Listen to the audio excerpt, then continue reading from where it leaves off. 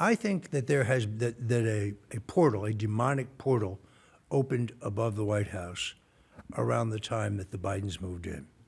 Uh, this was brought to my attention by a, a Christian who lives in North Florida, who sent me a bunch of photographs.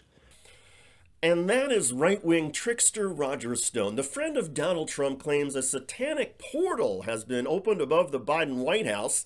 Stone says he initially thought the claim was crazy. I was skeptical about it, um, but I looked at the photos, and I lo- and you, you can also there's a live cam where you can actually see in real time, and there does appear to be something, you know, above the White House. Something mas- inexplicable. Well, at first you say, well, maybe it's a reflection, or maybe it's a an aerostat balloon. You know, maybe there's a logical. nat- So I, I called a police officer I know, works in Arlington, it's a friend of mine, and I said, look, um, do me a favor, would you go down and check this out? He said, Are you out of your mind? I said, No, just, just humor me. Just humor me. Go down there and, and check it out and tell me what, call me back and tell me what you see. Right. And take photos. And he called me back about two and a half hours later and he said, You're not going to believe this, but there's definitely something there. And it's there. He, said- he said, it, People who, are, other people were there photographing it. Roger Stone is no stranger to photographs. A few years ago, a jury convicted him on seven counts of lying to Congress, witness tampering, and obstruction of justice related to a federal investigation of Russian interference in the 2016 election. Stone claims to have become a dedicated Christian because he believes God used Donald Trump to pardon him. In any case, Stone first started making a claim about a demonic portal in early 2022. He appeared on a program called Elijah List. Generally, the program's content consists of wild conspiracy theories about how God is supposedly working to save the United States through modern day prophets and Donald Trump.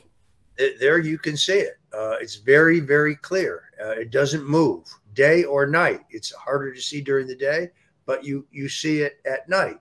Uh, and uh, I'm absolutely convinced uh, about the inherent. There it is again about the inherent evil of what's going on in the White House, what's going on in the country, and I think it's imperative uh, that people know about this, that people of good faith, that Christians know about this, and we begin uh, a national, essentially a prayer assault to close the portal.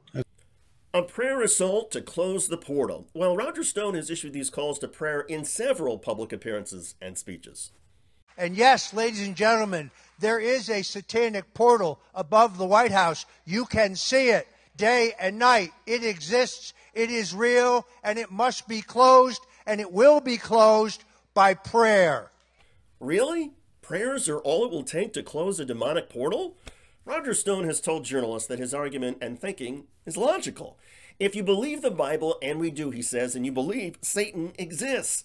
And if Satan exists, there also must be demons, and therefore a portal in which demons enter this realm. According to Stone, demons populate the Biden administration. He says you can't tell whether they are men or women. They don't seem to know either. This right wing lunacy would be humorous if it wasn't so pathetic and sad. In Joe Biden's first year in office, his administration created more than 6.6 million jobs, the most of any president in U.S. history. Demonic?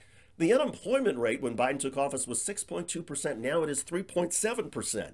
Satanic? Child poverty is now at the lowest rate ever. But heck, maybe demons really do exist, and they are using a swirling portal over the White House to protect Democrats from being infected and dragged down by Republicans. You know, a quasi supernatural toilet where the Republicans' awful impulses gets flushed away through magnetic force fields. One man called and said, "You can see it day or night. It's a, it's like a smudge in the sky, almost like a cloud that doesn't move. But when you zoom in on it with a telephonic lens, it's swirling like a cauldron." Now, wait a minute. So this is like what, eight months ago? Yes, Okay.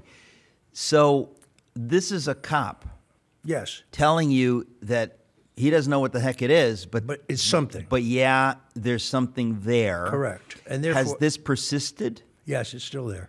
It's still there. It's still there. Okay, that's nuts. Like, how has the media not covered this? Well, the media doesn't cover a lot of things that are true.